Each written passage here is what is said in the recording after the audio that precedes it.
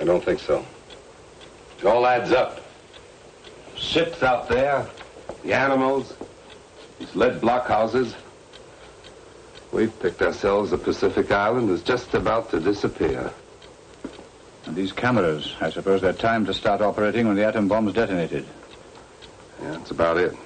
Except that that's probably an H-bomb out there. We shan't know the difference. Is there a way of telling how long we've got? Yeah, wait a minute. What time do you make it? 5.30. Check. Yes, just coming up 31 minutes past.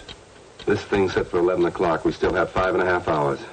Five and a half hours to live. Well, it's better than nothing, isn't it? You can put some distance between us. Come on, what are we waiting for?